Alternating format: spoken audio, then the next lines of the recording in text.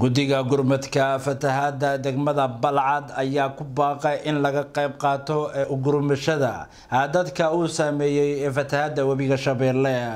Sida warkan inoogu faahfaahinay wariyaheena mar kale cabdulaahi gacmo. Degmada balcad iyo tuulooyin hoostaga waxaa saameyn ballaaran ku yeeshay fatahaada webiga shabeelle. Deegaano ama tuulooyin hoostaga degmada balcad ayaa laga barakacay. Beeraleyda wax soo saarka dalagooda sugayay ayaa kumanaan hektar uu ka saameeyey oo iminka faramaran الحروب حرومها هاي. الحروب الدولة هاي لا ونمعي محاك سو بركة علينا. روبكم يا بيو بيو بيو فتهات. فتهات وبيجي آه. هاي ماشي. اجوكتين انت واي بنان كيسوا مكر بنان كيسوا ماشي. الإبيد دكت بنان كيسوا على عدكوا ما شاء الله. إلهي ان وصل بريان. إلهي ان وصل بريان. إلهي خير. أنت خير تبدل النصيه أنت الهي بعد باي أنا باي. اي يعني. Beledka aad degneedeen aawe biyaa looga soo orday. Guddi culimo iyo waxgarad deegaanka ah ayaa u istaagay samata bixinta dadkaas. Insha allahu tacaala waxaan rabaa inaan halkan ka caddeeyo ummadda soomaaliyeed u naadiyo idhaahdo walaalayaalow dadku waa kala nooc waana kala dabeecad.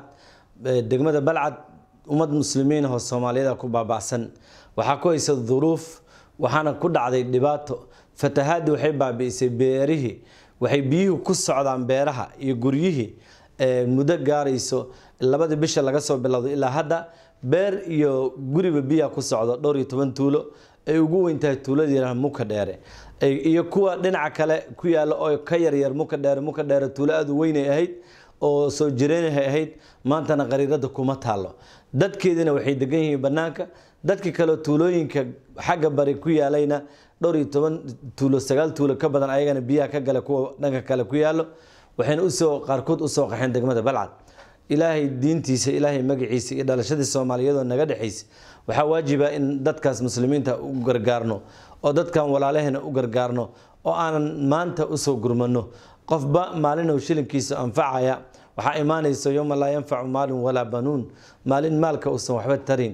Laakiin maanta hal doolarood bixiso walaalay maanta baahida tirtaa hal shan doolarood bixisane qofaa maanta loogu iibin karaa bacdow roobka ka geli lahaa iyo marakaneecadii anigoo ku hadlaaya magacii gudoomiyaha guddiga fatahaadaha degmada balcad ee ka dhacay anaa hadda horjoogo u ah ee rag badanoo culimaha ugula jiro sida sheekh maxamed muuse sheekh cali fanax sheekh cabdisaaf shimbirow sheekh cabdiraxmaan gurey iyo rag kale.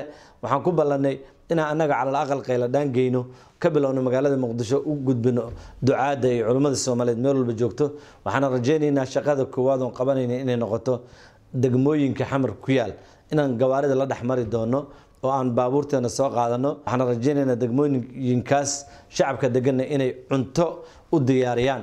Akoonnadaasna qofkii loo sadaqaysan kara iyo qofkii gaadiidka lagu qaadi lahay sahaydiisi sadaqayn kara.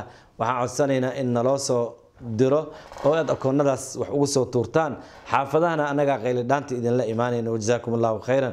Yaraan ma leh dad badan haddaan helno oo qofkiiba hal doolar bixiyo dad badanaan badbaadin karnaa. Waxaan ilaahay ka baryaynaa inuu ilaahay naga dhigo kuwa shafeecadooda la aqbalo oo ummaddaas ergadoodii loo qaado.